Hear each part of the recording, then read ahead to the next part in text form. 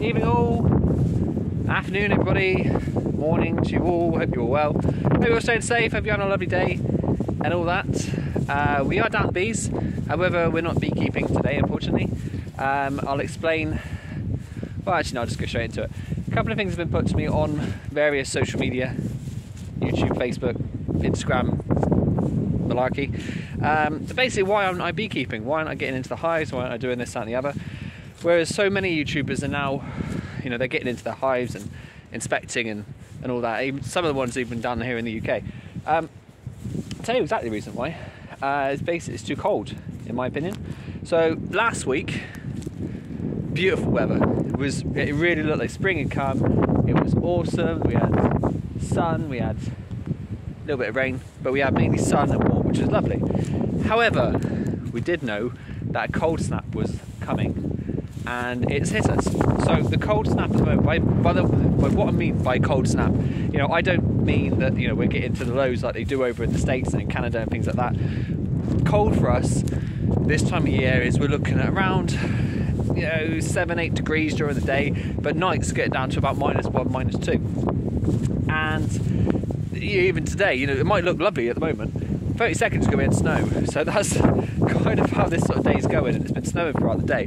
Um, so because I knew what was coming, because I knew what weather was coming on, I haven't gone into my hives last week. Now another question is put to me about what are my concerns about swarming, and I'll go on to that in just a second. But um, as far as I'm concerned, with my girls, last week I didn't go into them because I knew the cold was coming and I don't want to disturb them too much, which is why I've left them alone, and which is why I will be leaving them alone for a little bit longer Next week, the weather is starting to turn again, and we are getting some warmer weather once again. So potentially next week is when my season's going to start. I did a little short a couple of days ago. Um, one of many.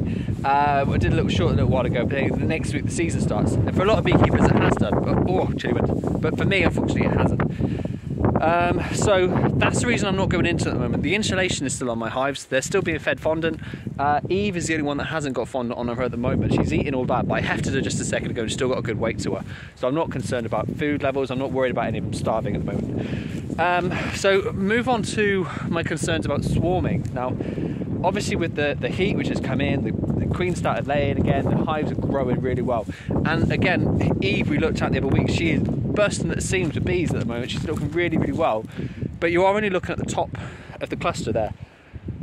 All my hives, and I'll move on to now why I'm not too concerned about swarming wise. All my hives I run on 14 by 12 frames. Now, forgive me, I don't know what size the Langstroth hives are, or Langstroth frames are, but the normal ones that we use over here in the, in the UK are the British Standard deep frames. And so the 14 by 12s are a little bit bigger than that. Um, obviously not as big, you know, there's not as, as much space in these hives as there are if you go double deep, so two deep boxes. But with a 14 by 12, I, am not worried about swarming purely because of the fact that I know they have that extra space, they have that extra area which they can fill. Um, if I was on deeps, all my hives on deeps, I would now be a little bit panicky about swarming, and I probably would have done what um, uh, Black Mountain Honey did a little while back and, and potentially put in something like a, a, a super under, underneath or something like that. But because I'm running 14 by 12s, I'm not worried about it. I'm not worried about swarming, and I do feel that they're going to be good for at least another couple of weeks hopefully.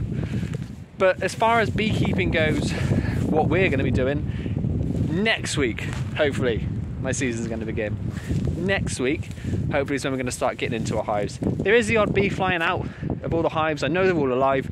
I hefted Eve and she wasn't very happy about that, so she gave me a good old buzz as well. So I know all our hives are alive. I know all our hives are, are doing well. And like I said, the odd one's flying out as well. But I just wanted to answer those of bits, basically saying as to why we're not doing. When, like I said, so many people in the UK, over in different countries, are getting into the hives, and I'm not. And like I said, my reasons behind that is because I knew this cold snap was coming, and I really, really didn't want to mess them about too much with a cold snap coming. I just think it's sensible. Personally, my my my thoughts on it. Other people might do differently. Completely up to you. But that's all I wanted to really say. I hope you're well. Hope you're staying safe. Hope you're having a lovely day. Um, oh, actually, yes, I knew I was going to say something. Um, I want to correct something about one of my old videos, and I might do another little video about this uh, later date when I just start doing splits. but I did split. So my one of my videos, which has been quite popular, is my first attempt at split. And bearing in mind that was a first attempt at split, people have learned a lot since then, or I've learned a lot since then. And what I said in that video was that if I saw a queen cell, I was going to take the queen cell out and I was going to start a new hive with it. Now, obviously learned since then, not the best way to do it because I'm just going a bit, oh, there we go.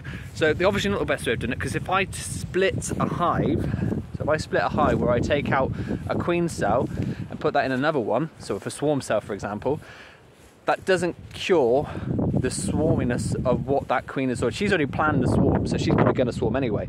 All you've done there is just remove the next queen for that hive, which obviously isn't very good. So to try and correct myself, when I'm doing a split, next time I'm doing a split, what I will be doing is I'll either be taking just frames and eggs and all that sort of stuff out, put them in a new hive. The queen goes with it great. But if there are swarm cells in there, what I will be looking at doing is taking out the original queen and leaving those cells there, not the other way around, which is what I think I said in my um, in one of my earlier videos. So I just wanted to correct myself there, um, just in case anyone is watching that and thinking you're doing it wrong, you're doing it wrong, and people have learned from what I've said and said they've ended up with a nightmare as well.